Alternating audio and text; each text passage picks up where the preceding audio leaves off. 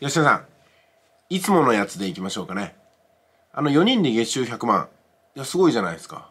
ずっとね、同じお客さんずっとリピートリピートして、リピートしつつも、プラスアルファの商品をどんどん提案できる。まあ、あの、セールスチャンスが来店されるためにあるわけですから、これはすごいですよね。で、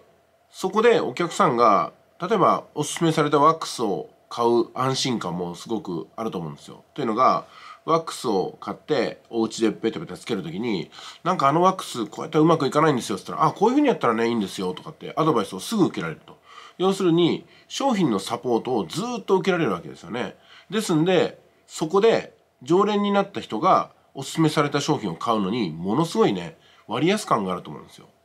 でもどっかの特売品買ったりとか通販で買ったりとかしてもなかなかサポートって受けられないと思うんですよね。まあ、確かに今現在 YouTube とかである特定の商品をずっと説明してる YouTuber さんいらっしゃるんでそこでサポートを受ければいいと言えばいいんですけどもやっぱねいつも自分の髪を自分以上にケアしてくれているメンテナンスしてくれてる人に自分の髪質に合った製品をお勧めいただいたりとかねえ紙の扱い方をレクチャーいただいたりとかするのがものすごく楽しみであったりとか例えばその美容院ねヘアサロンに行って1回1万かかるにしても1万円以上の付加価値っていくらでも引き出せるんでこれはいいなと思いますよね。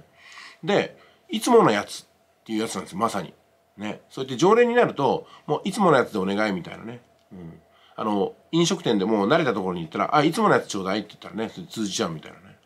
で私の町でも私のこの髪ね触ってくれるいつものやつっていう床屋さんがあるんですよ。私がまだ10歳にもならない時にその床屋さんに私行き始めて近所だったんでね。ほんで数十年経ってこの町に帰ってきた時にまだあるんですよね。だから10歳にならないうちから髪やってもらって50を過ぎてもまだやってもらってるっていうね。もちろんその床屋さんのご主人や奥さんってのはもうね70の後半ですよ。70代後半。後期高齢者。いつ商売やってもしょうがないって感じです。で最近は髪をね触ってもらいながらねお話するんですよ。この店って長いですよねって。お長いよって言うんですよね、うん、店ができた時にはこの辺は家が一軒もなくってね。よ大丈夫か？これやっていけるんか？と思ったらしいけどもでも1週間経ち2週間経つ。お店をねオープンしてから。そうすると家がどんどんどんどん立ち始めてうわどんどんどんどん人が入ってくるんだみたいな感じですっかりとこの地域っていうのは一戸建てで埋め尽くされて。そうするとこの地区に床屋さんうちだけだからもうさばききれないぐらい人が来たって。でもご主人と奥さんたった2人でやってるんでもう街がすごい。でも待つにしても自宅で待ってくれてじゃまた来るわみたいな感じでねいっぱいだったら一回帰ってまた来るみたいなことを繰り返してくれるお客さんもいてまあそういう忙しい時でもやっていけたよみたいなところがあったりとかね。でやっぱりこうお盆とか年末年始みたいなのはこう紙にねいまだに紙に何月何日から何月何日まで休みますみたいなペタって貼ってそれで OK みたいな。広告なんて一回も出したことないらしいんですよ。で改装もしたことがないし設備も一回も入れたことがないらしいんですよね。だからオープンした時と同じ設備。それこそドライヤーなんてねガムテープでなんか切れたところぐるぐる巻きにしていまだに使っててあらおかしいなとか言いながらね。故障してるのをこうやってなんかいまだに使ってるっていうね。だからね追加の設備投資費全くかかってないんですよね。すごいですよね。ちなみになんかこの何年かってあれでしょ？感染症とかあったでしょ？関係なくねそのままでやってましたよ。ほんと別世界かみたいな感じですよね、うん、だからそういうのを見てるとねなんかクラスターなんて起こりようもなかったし何なんだこれはと思いましたね。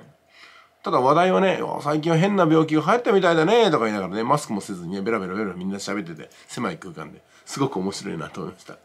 で私の場合も行けばもういつもやってくれるんですよ。同じように、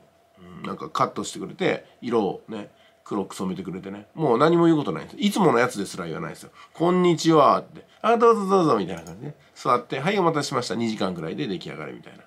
うん、だからその間ずっとね近所のこのいろんな話するんですよ。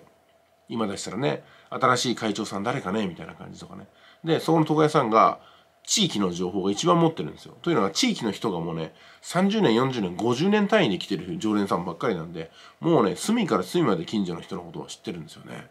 だから私もその自分がね町内会長になった時に、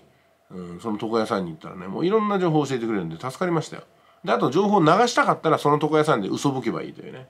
いや最近ねこういうふうにしようと思ってるんですよみたいな感じで言うともう広まってるみたいなね。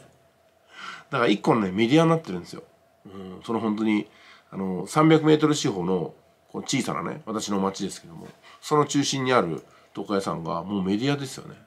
でそこにあらゆる噂デマあ本当のこと嘘のこと入ってきた引っ越してきた人そしてお亡くなりになった人全ての情報が入ってるんで回覧板より正確ですね、うん、あとはねやっぱこう一定のバイアスがかかってますね。だからこうなんなんとかね巨人ファンじゃないとねちょっとね話が合わないみたいなところありますね。で私野球全然見てないんで野球に全く興味がないんで野球の話はできないんだけどもでもあなるほどね。って分かったふりをしとかないとちょっとね気まずいみたいなところがあって。まあ田舎あるあるって感じですか。でも本当にねすごいですよ。そのお店っていうのは結構これ舐めてるじゃないですかね。あの個人商店でやってるみたいですからね、うん、今回インボイスも参加しないみたいですけど 消費税も払ってるんだこれ分かんないですね。まあこの辺にしときましたかな。脱税になってもいけないんで。はい。まあでも本当いつものやつっていうねお店はやっぱりこういいですね、うん、だからその床屋さん以外使ったことがないっていう地域の方も結構いらっしゃると思いますよ。うん、でもう一人一人のあの性格とか知ってますしねでその床屋さんってメニューがほとんどないんですよ。カットパーマ丸刈り終わりみたいな感じですよね。だからほとんど男性がお客さんかな女性はだから別のとこに行くのかな。うんこんな感じです。いつものやつってやつですか。うん、私たちも多分いつものやつってやつなんでしょうね。うん、おお久しぶりみたいな。あ今日もねなんか3年ぶりぐらいにメールくださった人がいて超ごご無沙汰ですって来るんですけども私の方としては「おおどうもどうも」って感じでね。つい最近メールもらったみたいな感覚です。こっちからしてみたら。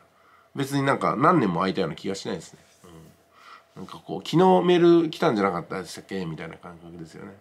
だから迎え入れる方ってそうなんでしょうね。久しぶりっていうよりもなんかあ来てくれたねみたいなね。つながってるのかなと思います。はいじゃあ以上でございます。お疲れ様です。いつものやつ。